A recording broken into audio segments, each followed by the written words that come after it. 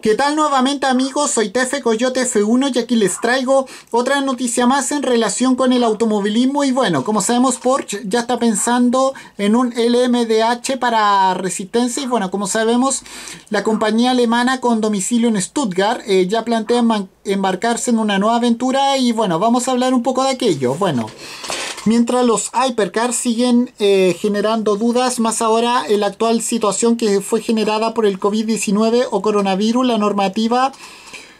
LMDH eh, sigue ganando adeptos. Estos vehículos llamados a unificar los reglamentos americanos como por ejemplo la INSA y, eh, y los europeos, que son las ACO, ofrece la oportunidad de correr toda la grandecita de resistencia de Daytona hasta Le pasando por Sebring. Eh, más y como ocurre con los GTE, lo que únicamente lo ha, convertido en un muy apetecible para las compañías automotrices.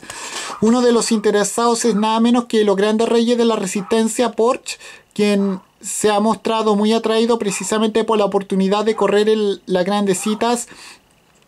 ya además hacerlo con un presupuesto contenido tal y como ha confesado el máximo responsable de Porsche en los programas de resistencia Pascal Surlinder.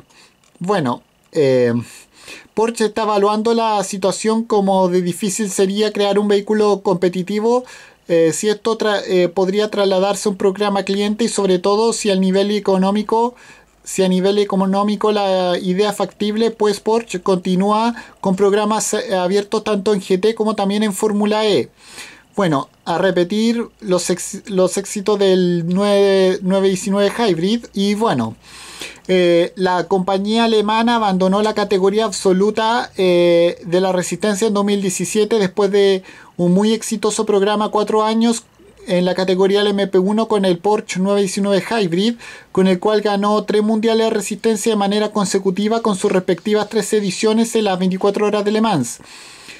Bueno, nuevos objetivos para descartar la Fórmula 1. Después del éxito cosechado, Porsche decidió reorientar su programa hacia la Fórmula E, abandonando la resistencia híbrida.